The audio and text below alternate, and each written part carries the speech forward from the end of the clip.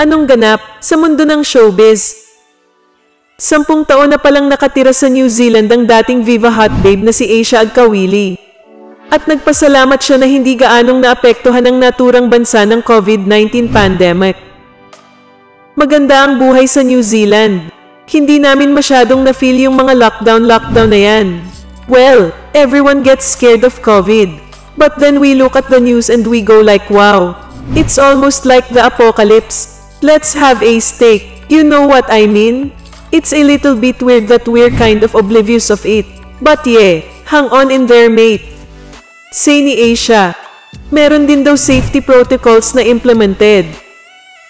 But in general, movement and daily activities ay hindi limited compared sa ibang bansa. We're only required to wear a mask in certain areas, especially like public transport. But you know, we're good. Hopefully pati Pilipinas maging ganun din. Dasal pa niya. Sa Auckland-based si Asia at ang kanyang pamilya. Normal na raw ang takbo ng buhay niya ever since na nawala siya sa showbiz. Pero paminsan-minsan daw ay iniisip niyang bumalik sa showbiz kaya panay ang punta niya sa the New Zealand stage at Screen Combat School para mag-aral ng fight scene techniques. Ano sa palagay niyo? Comment down below kung isa ka sa lumaki dahil kay Asia.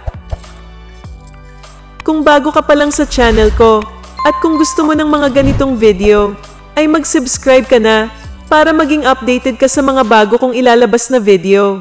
At kung meron kang gustong i-promote, PM is the key.